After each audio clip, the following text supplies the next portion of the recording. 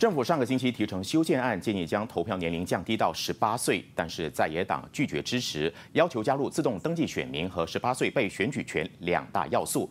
那随着政府答应相关的条件，朝野终于达成了共识。青体部明天将提成新版修宪案，而首相敦马哈迪有信心这一次将能够顺利的修宪。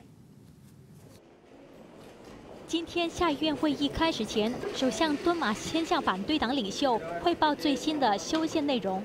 踏入早上十点，国会会议一开始，青年及体育部长塞沙迪马上援引议会常规六十二条文，向议长拿督穆哈默阿里夫要求撤回把投票年龄降低到十八岁的修宪案。Saya mohon untuk menarik balik Rang Undang-Undang Perlembagaan 2019 seperti yang tertera di nombor 4 dalam aturan urusan mesyuarat pada hari ini. 议会厅里这边撤回了修宪案，那接着在议会厅外，朝野重量级领袖，包括首相多马哈迪，还有反对党领袖拿督斯里伊斯麦沙比里，就罕见的召开了联合记者会，透露双方达成了共识，也就是说，新的修宪案将会获得反对党全力支持。Komitmen dalam pertemuan kita pagi tadi, pembakar semua memberi pengakuan bahawa mereka akan sokong.